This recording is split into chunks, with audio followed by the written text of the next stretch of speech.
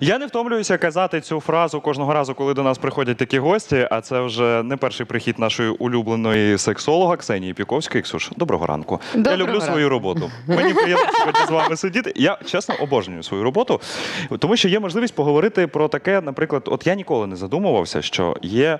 Примирливий поцілунок. Ну, типу, ми посварилися, ну та й годі, знаєш там. От старан ми теж можемо посваритися, а потім прийдемо один одного обіймемо і норм. А от саме примирливий поцілунок. Це Яка його взагалі роль у відносинах? Э, Смотри, э, можно разложить эту историю на там, психологию и физиологию. С точки зрения психологии, э, так же как в случае с сексом, это разный смысл. Да? То есть ты можешь вкладывать смысл примирения, ты можешь вкладывать смысл поделиться любовью, дать любовь, взять любовь, обменяться энергией или там э, внимание уделить. Это одна история. Другая история, что, э, допустим, губы э, содержат в 100 раз больше нервных окончаний, чем пальцы. Соответственно, при Мгм. стимуляции э, нервных окончаний э, губных э, вырабатывается сексуальное возбуждение в ответ. Ага. Э, Это момент номер один. Момент номер два.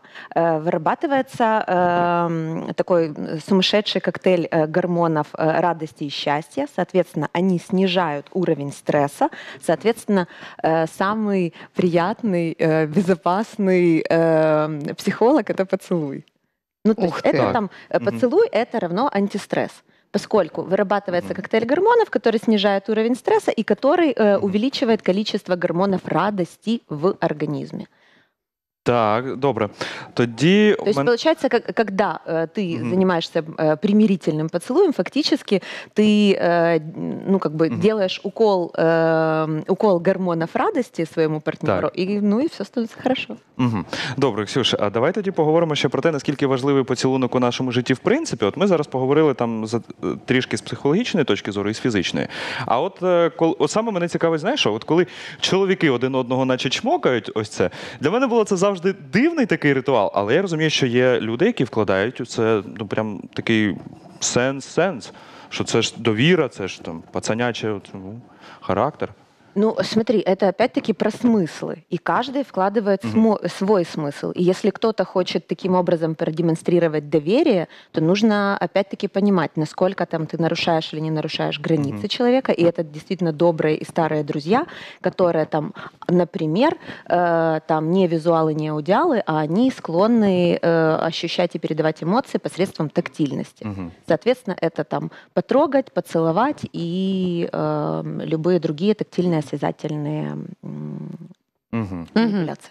Так. Ну мені взагалі цікаво, от, окей, примирливий поцілунок, це все класно. Але а, в якійсь мірі е, з чого ти смієшся? Гля, Ну, які? добре сказала. Ну це класно, звісно. Але е, інколи все одно проблема ж не вирішується поцілунком. Наприклад, ну от ви реально там сильно посперечалися, да? а потім тобі приходять, ну давай, все, цьому не там не кричи. Ну, в смислі цьому не кричи. Е, ми не проговорили проблему, треба вирішити. От е, чи не може цей примирливий поцілунок е, бути як замилюванням очей?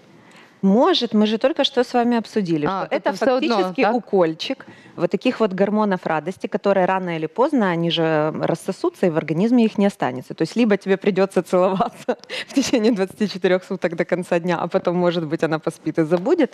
Ну, то есть, конечно, это проблему не решает. Э, Ну и примирительный секс проблему не решает. Более того, может создавать те или иные э, там цепочки, которые потом э, будут тоже сказываться на сексуальной жизни. То есть, конечно, проблему решает открыть рот и поговорить. Ну, а поцелуй это, собственно, уже в результате того, как вы поговорили, закрепить успех. И вот вы решили вопрос, и все равно, может, где-то у кого-то осадочек остался или легкая грусть и тоска. И давай-ка я тебе дам вот этот укольчик этих прекрасных гормонов для того, чтобы э, тебе стало хорошо и радостнее. А взагалі, от є таке навіть здається в Італії, так що вони а, тільки зблизь а у Франції, що вони а, цілуються, якби там в щічку, Мгм, мгм. так а, і три рази. А у нас, наприклад, там ну зустрілися подружки раз у щічку. Це ми наслідуємо Францію. Е, Чи це все ж таки у нас уже теж як відбувається, ну як в нашому менталітеті така фішка? І чи можна взагалі цього робити не з близькими, а так от просто з якимись подружками і друзями? Ну, э, смотрите, относительно Франции у них это скорее ритуал. Угу. Э, Относительно нас не могу сказать, кто кого наследует э, и э, ну мо- можно ли. Да, конечно, мы все понимаем, что э, э, слюна э, содержит э, бесчисленное количество всевозможных ангин, ОРВИ, кариесов и Мгм. тому подобное. И, ну, то есть одно дело поцеловаться в щечку, другое дело обменяться жидкостями и поцеловаться эм, По-дорослому. Э, Поцеловаться в губы. Давайте в губы. Э, Вот. э, Поэтому ну, не могу прокомментировать, кто там кого наследует, не, не, бл- не владею такой інформацією. Мгм. Угу. Слухай, Ксюша, а ми коли говорили про поцілунок декілька хвилин тому назад, ти Мгм. сказала це саме про межі. Мгм. А, мені цікаво знати, от, е, наприклад, як правильно відчувати межі людини. Просто я от. е, З того часу, як почав вчитися, хоча б сам для себе правильно комуніціювати з людьми, ну, типу, і я розумію, що мало хто може сказати про свої межі. А от як можна їх розуміти? Смотри, вот э, давай тогда чуть-чуть назад, что значит мало кто может сказать о них. Эм, границы, они же э, не для там Мгм. мои границы, они не для тебя, они для меня. И, соответственно, как только ты, э, там, где заканчиваются твои границы, начинаются мои. И как только ты пытаешься нарушить мои, Так. я ощущаю дискомфорт. Если я их чувствую, я их выстроила, и я говорю тебе об этом. И я говорю тебе об этом в конкретной фо- э, в ко- в корректной э, и конкретной Мгм. форме, без там жалоб, обид и претензий. Э, Однако же, если ты своих границ не ощущаешь, соответственно, ты с легкостью пересекаешь мои. И, соответственно, если ты привык их э, пересекать и Мгм. нарушать, мое корректное э, описание и утверждение тебе на то, что ты нарушаешь мои границы, может вызвать у тебя там возмущение, обиду, непонимание, потому что ты не понимаешь свои границы, соответственно, ты не чувствуешь, где начинаются мои, где заканчиваются твои, где начинаются мои.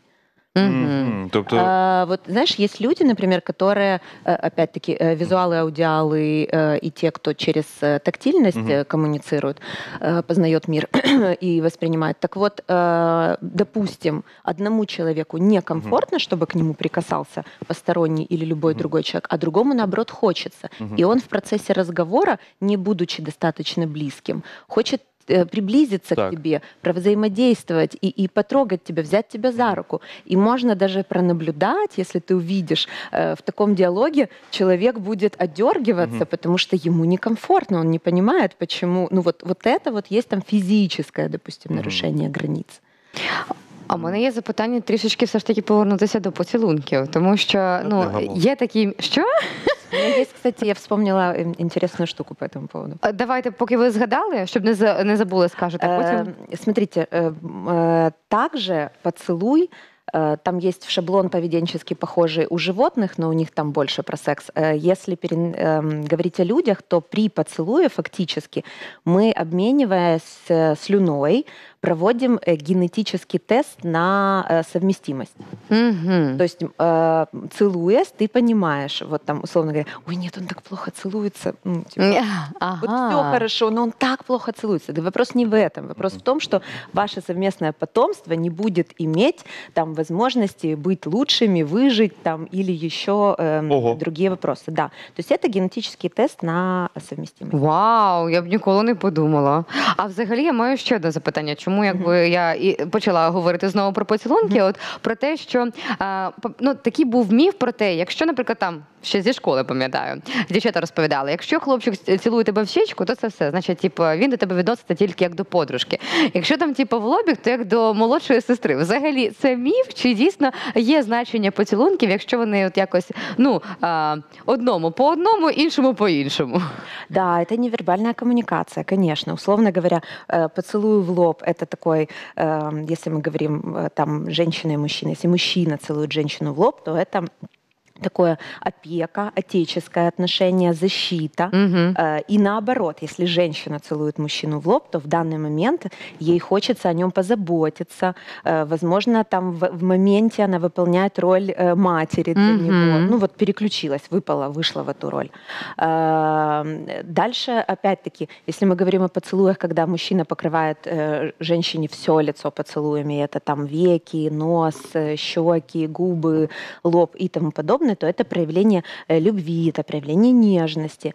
Самый страстный поцелуй, конечно же, про страсть, про секс — это губы. Угу. Э, Там, ну и дальше это уже эрогенные зоны. Угу. А ось щічки, носик є якась та в них там теж своя категорія, за що відповідають? Чи це Эм, Ну, все это тоже про, э, про нежность. и З- Про, внимание. про Да, турботу, да, так? да, да. Цікаво. О, бачите, я думала, що це мімо, виявляється, це правда. Да, да, конечно. Класс. Так же, как люди спят.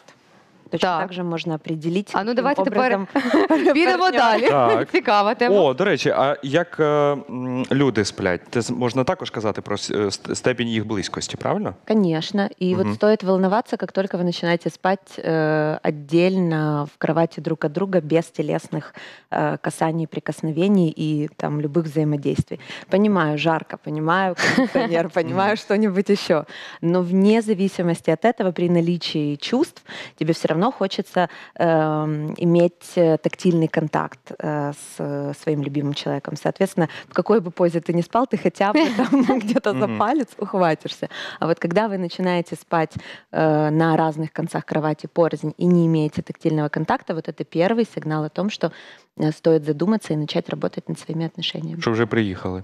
Ну, еще не приехали. Это, Ну, але поч- почали это вже, запрос в маршрут взяли. работу. Это запрос в работу. А от з чого потрібно розпочинати, якщо така виникає проблема? Саме знову сісти поговорити? Смотрите, эм, я все время, все время говорю о том, Ага. что нужно говорить. Э, Но давайте опять-таки не путать. Иногда можно эм, человека разговорами, ну как бы запилить, и желание разговаривать пропадет и, и отпадет совершенно. Для начала вот то, к чему мы не склонны на сегодняшний день, потому что ритм жизни очень быстрый, мы не склонны эм, наблюдать за собой Мгм. и анализировать. Угу. И когда я даю задание своим клиентам пронаблюдать, например, день, э, несколько дней или неделю в определенных э, обстоятельствах себя вот там поотлавливать на определенные эмоции, для людей происходят открытия. Потому что, ну, как бы он делает или она все то же самое, но только сейчас она стала останавливаться, анализировать, задумываться, и оказывается, серьезно, ну, как бы, а я так себя веду, или оказывается, вот я научилась вот этому, ты мне там дала такую-то технику, я так рада, так счастлива, теперь я более там свободная, раскрепощенная. А ты знаешь что? Оказывается, мой муж делает это уже полгода.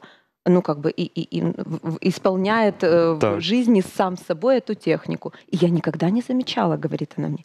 Не замечала почему? Потому что ритм жизни настолько быстрый, что э, не возникает как бы даже возможности остановиться, подумать и проанализировать. А, действи- а вот что я сейчас сделал? А действительно ли я это сделал? У мене з цього приводу є Ну, запитання. давай, бо в ще мене одне. теж. Да. Тому що ми, коли говорили з психологом, ми говорили про обійми. І нам казали, що теж ось про ритм життя і про те, що має бути як правило, що ну ви приходите з роботи, обов'язково там 30 секунд Ритуал. а, обійми, так зранку так само. Ну і взагалі там бажано від трьох обіймів на день робити, будь з ким. Не менее 10, о, 9 э, объятий в день тебе нужно. для Не того, менше чтобы- дев'яти. Для того, чтобы чувствовать себя счастливым. Вау! Да. А ось е, ми говоримо вже про те, що ваші клієнти побачили цю проблему. А як будувати свої стосунки в плані там поцілунків і ще якихось можливо нюансів, щоб все ж таки не дійти до цього, щоб попередити ну, ось цю ситуацію? Э, ну, смотрите, первые полгода, год-полтора э, у нас такой происходит гормональный дисбаланс в организме, что мы, в принципе, об этом не думаем. Угу. А дальше это вопрос осознанности и вопрос э, того, насколько человек способен за собой замечать или не замечать, отлавливать, чувствовать, эмпат, не эмпат, и, и, допустим, насколько при этом его партнер рационален или эмпатичен, и как он воспринимает чувства и эмоции. Потому что если мы говорим, там, условно говоря, о- о- обо мне, о вас Мгм. э, и о тебе, Максим, то мы вот люди с вами, которые склонны э, отследить где-то какую-то эмоцию. А если мы говорим о том, что э, наш партнер, там каждый, каждого из нас сейчас э, будет совершенно рациональным человеком, которому просто нужно там Мгм. принести факты, и он выберет там, какой из них э, самый рабочий, то это как раз тот человек, который не отловит. И пока ты не придешь и не, не, не дашь ему конкретный план к действию, не скажешь, слушай, дорогой, тут такая ситуация, вот я заметила, и пам-пам-пам-пам-пам, прям по пунктам говоришь ему, я заметила вот это. И я предлагаю такие-то дальнейшие пути развития событий для того, чтобы выйти из этой ситуации. И он, значит, Мгм. посмотрит, скажет, да, согласен с тобой, действительно, ну, ты права, давай вот этот вариант. То есть и сам он никогда не заметит, потому что ну, он просто мыслит иначе. Он мыслит не, э, ну, то есть не, не на уровне эмоций, и, и он не привык и не склонен их замечать. Мені цікаво, знаєш, що для мене колись був такий інсайт, який розірвав мені абсолютно все розуміння мого життя. Ми, як правило, на автоматизмі. Причому Автопилот. автопілот, Да. причому більшість е, от часу нашого життя. Як його можна розривати? Смотри, м, если у тебя есть в машине круиз-контроль, то ты Так. точно знаешь, как это. Когда ты ставишь машину на автопилот и там Мгм. наслаждаешься э, дорогой, м, э, и вдруг оказывается, например, колесо спустило, бензин закончился и тому подобное. Э, Что ты делаешь для того, чтобы сняться с автопилота, выключить его? Э, Ты нажимаешь на тормоз. Так. Это значит, что ты останавливаешься, притормаживаешь, то есть ты снижаешь скорость своего движения для того, чтобы что? Оценить ситуацию, Мгм. посмотреть, в какой точке Мгм. ты находишься сейчас, и только таким образом ты можешь проанализировать, сделать выводы и понимать, куда ты двигаешься дальше. Потому что ну, есть явные там признаки автопилота. Например, эм, там мы присутствуем в каком-то диалоге, и спустя несколько Мгм. часов или день, и- и- или даже несколько часов, или полчаса э, тебе говорят, Максим, э, ну вот же, помнишь, вот мы обсуждали вот это вот. Ты говоришь, в смысле? Нет, не помню. Да, как? бывает Ты мне ответил еще, Мгм. вот это, вот это. Мгм. Ты такой, а, ну не знаю, не помню. Там, это один из признаков э, автопилота, когда ты присутствуешь, но не присутствуешь Мгм. э, в э, ситуации э, в этот момент. Э, история с тем, что когда ты встал, пошел, куда я шел вообще? Боже, а зачем я шла? Або поклав ключі, ключі на автоматі, теж, а потім шукаєш, і де поклав. Э, Ну вот действительно из-за э, активного ритма жизни у нас есть некоторые э, процессы, которые выработаны на автоматизме для того, чтобы типа как бы везде успеть и никуда не опоздать. А на самом деле, по факту, н- ну, опоздание может случиться на минуту, на две. И что произойдет в результате опоздания? Та нічого. Да ничего. Взагалі нічого. Ничего. И чем медленнее ты будешь идти, чем медленнее ты будешь разговаривать, тем больше ты даешь своей нервной системе равновесия. Это одно из моих любимых упражнений. Прошу, пользуйтесь. Клас. Э, Замедлять шаг, отслеживать себя, э, отлавливать и замедлять шаг. И, эм, а потом попробуйте подслеживать себя, когда ты спешишь куда-то, Мгм. ты прям накручиваешь как маховик нервную систему, Так. ты начинаешь быстрее говорить, ты начинаешь Так, так, так. торопиться. Во-первых, у тебя все валится из рук. Ты не можешь сфокуси- держать фокус внимания на чем-то одном конкретном. У тебя начинают мысли прыгать из одной в другую. Это опять-таки действие гормона стресса Мгм. кортизола, который не дает тебе возможности сфокусироваться. И ты уже как бы вроде как цель одна, не опоздать, но по Мгм. факту у тебя начинают мысли прыгать из одной задачи в другую. А на самом деле вот э, и, и- таким образом ты себя накручиваешь и свою нервную систему. А если ты м, попробуешь вот замедлиться, остановиться, пройтись медленнее, начать говорить медленнее, ты удивишься, ты столько много интересного заметишь вокруг себя. Так. Вчера ко мне навстречу пришел э, мужчина, и он прям забежал и такой... Я говорю, так, подожди, стоп. Говорю, ты зашел, и прям, говорю, вот повисла, говорю, в воздухе такая тревожность. Говорю, мне, мне Мгм. прям, говорю, меня волной накрыло. Говорит, да, серьезно? Я просто полдороги ехал по встречке. Я говорю, так, ну давай как бы немножко, ну чуть-чуть замедлимся. Говорит, да, ты права. Да, говорит, ти знаєш, мені стало лучше. Слухай, прикольно. Ось ця А- річ працює зі мною, тому що я дуже швидко говорю і почала говорити повільніше, почала замічати, ну, помічати багато різних моментів. А я просто хотіла зараз трішки так підсумувати для себе. Тобто нам потрібно не доводити себе до автоматизму з цього, так як тільки ми відчуваємо, збавляти темп, тобто тиснути на гальма. Э, Смотри, автоматизм э, это тоже неплохо, и в каких-то э, в каких-то процессах он просто необходим. Ну, потому Мгм. что это может быть неинтересный процесс, и тебе там для того, чтобы не включать лишний раз мозг и дать ему отдохнуть, э, хочется там просто на автомате почистить картошку. Тебе же не нужно об этом думать. В это время твой мозг отдыхает. Или там ты можешь посуду. Для некоторых Мгм. это медитация. Э, Есть посудомоечная машина, но при этом ты стоишь, моешь посуду и думаешь, боже, какой кайф. Э, Вот. Э, Но есть действительно процессы, которые на автомате переходят в автомат. И вот это стоит отследить, вот эту тонкую грань между теми процессами, кото- в которые не стоит включать мозг, и между теми процессами, которые касаются взаимоотношений с другими людьми. Класно. А, слухай, Ксюш, я пам'ятаю одну з е, твоїх цитат, яка також, знаєш, трішки ш- шаблон рве. Спасибо, это я. Це, ну і це класно. Ти розумієш, мало людей. А, і А, Хочеться також от, трішки на завершення, так, от, нагадати одну історію. М, У вас, як же ж у вас може бути роман з самим собою, якщо у- ну, ну, типу, всередині у вас війна? Мгм. І от на твою думку, як можна почати все ж таки роман з собою? Э, С принятия себя. Это звучит ужасно пафосно, об этом говорят все. Никто не понимает до конца, или, или большинство людей не понимают до конца, что же это такое, вот этот вот роман с собой. А на самом деле, ввиду того, что у нас есть много э, примеров того, как кто должен выглядеть, как кто должен себя вести, в чем э, э, там достижение успеха э, там является обязательным, или почему ты должен достигать успеха, и как этот успех должен выглядеть, как должен выглядеть твой ребенок, твоя семья, твоя машина, твоя собака, твоя квартира, твоя дача и тому подобное. Э, Любые материальные и нематериальные ценности, все это транслируется нам изо всех источников информации, и это очень давит на человека. И, конечно же, э, не каждая психика справляется, мы пытаемся стремиться к тому, чтобы достичь вот этой идеальной картинки, Мгм. а на самом деле в это время мы теряем себя, потому что, э, ну, как бы все вопросы, которые у тебя должны быть, они должны быть не к миру, а все вопросы должны быть к себе. Потому что как только ты находишь эм, гармонию с собой, у тебя вообще перестают возникать вопросы к миру, потому что, в принципе, ну, как бы ты счастлив сам с собой, и, и, и вообще не возникает, э, собственно, желания вообще даже задать вопрос, ты даже не думаешь об этом. И история в том, что когда ты подходишь к зеркалу, смотришь на себя, и я делаю это каждое утро, иногда делаю два раза в день, когда чувствую, что мне это необходимо.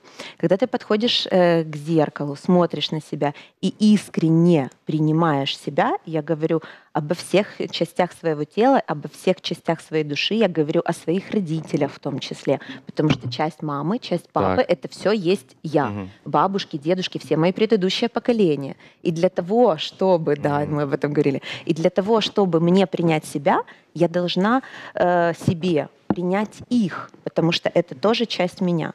И до тех пор, пока ты э, там не в коммуникации с мамой или с папой, или там с сестрой, братом, бабушками, дедушками, все это часть тебя. Это значит, ты, ты не принимаешь себя, какую-то часть себя, и в- в- вот, собственно, в это время ты борешься с собой. Поэтому э, Мгм. принять себя Так. Э, А для этого а, чуть-чуть назад исследовать. Угу. Исследовать, узнать, после этого принять. Потому что так устроена психика. Как только ты понимаешь, почему это произошло, э, причину, э, ты перестаешь там злиться, например, или агрессировать. И в нашем случае, если какую-то часть себя ты не принимаешь, или там поведение, допустим, или там способ жизни отца или матери, как только ты понимаешь, почему человек так себя ведет, все становится ясно, и ты такой, а, да, так все понятно. М, это твой выбор, я принимаю. И сразу же в этот момент прям легче тебе становится. Ты понимаешь, ну да, это часть меня, я понимаю, почему она так делает. Мгм. Я принимаю себя и, и принимаю тебя в себе. И вот это вот есть там один из ритуалов, который э, позволяет в том числе прийти э, к возможному роману с собой. Но это огромная тема. Это прям вот не на две минуты. И, э, и на самом деле это там работа с собой ежедневная и долгое время. Это процесс, скажем так. Тобто, це все ж таки вибір, який ти робиш щодня. Это выбор, это выбор, который ты делаешь э, каждый день. И самое главное, эм, не стоит ожидать, что когда-то где-то по достижению какого-то результата, вот тогда ты будешь ощущать себя счастливым. Ты работаешь над собой на сегодняшний день? От і в процесі будь щасливим. Абсолютно. Ну, как бы хвали Так. себя. Ты же молодец, Мгм. Ты же работаешь над собой, ты же каждый день, каждую минуту, каждую секунду, ты исследуешь себя, ты узнаешь себя, ты принимаешь часть себя. И в этот момент, каждую секунду, ты становишься счастливее. Просто Мгм. остановись, остановись, нажми на тормоз, сними с автопилота, и такой, «А, так вот же оно, да, класс, какой я молодец, Мгм. сегодня я узнала себя это и стал еще чуточку счастливее. Ну, просто вот в- я, мое произношение французского крайне плохое, и это не язык, который я Так. учила, поэтому я скажу на русском языке. У французов есть такая фраза «искусство наслаждаться жизнью в каждом его моменте». Угу. И, и это искусство. И это вот то искусство, Мгм. которому э, стоит научиться каждому, и тогда ты сможешь ощущать вот счастье в каждом моменте своей жизни. Просто, просто остановись и- и научись его чувствовать. Вау. Я зараз Ну, зупинилась, типу- якщо чесно. Я прям честно с ума сижу. Тому що якось я вже взагалі забула, що ми зараз в ефірі, тому що це було настільки. А... От достукалося до мене, наприклад, що потрібно все ж таки знайти цю гармонію з собою. Потім і будуть ти примирливі поцілунки, і все там потім буде. Найголовніше знайти гармонію з собою. Класно, дякую вам за ці е, скіли, як кажуть зараз. Пожалуйста, я счастлива. а скіли дійсно круті. Ти знаєш, я тобі хочу сказати дякую от, е, від нашої студії, від в принципі нашого шоу, тому що, по-перше, ти легка. Ми, ми з багатьма людьми спілкуємось, і багато різних є гостей. Проте найбільше цінуєш ті моменти, коли легко. Я тобі дякую і дякую за те, що як не крути, а будемо вчитися старан е, ставити себе на, на, коротше, на тормоз, На тормоз. останавливатися. Ну, реально. Треба зупинятися і насолоджуватися життям. І ну знаєш, ти як завжди порвала усі шаблони, які тільки були. Оце класно. Молодець. Спасибо. Це геніально. это я.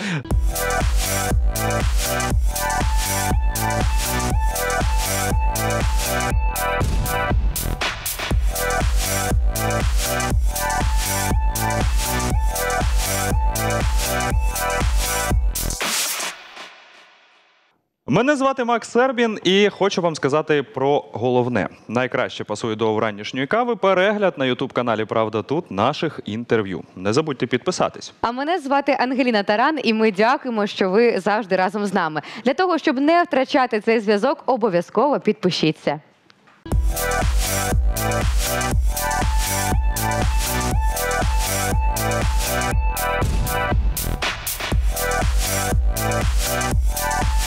We'll